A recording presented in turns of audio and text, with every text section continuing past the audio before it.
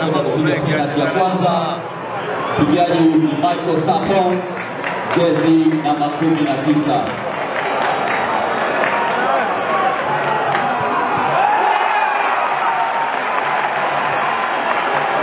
Yanga wanakosa penalti ya kwanza iliyopigwa na Michael Sapon.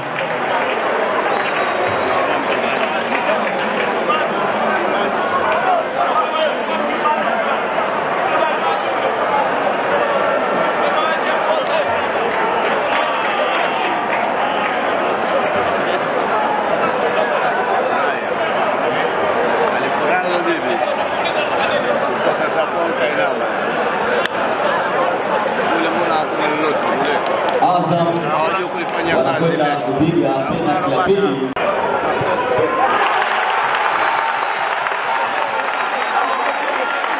Azam wanakosa penalti ya kwanza iliyopigwa na Awesu Ali Awesu.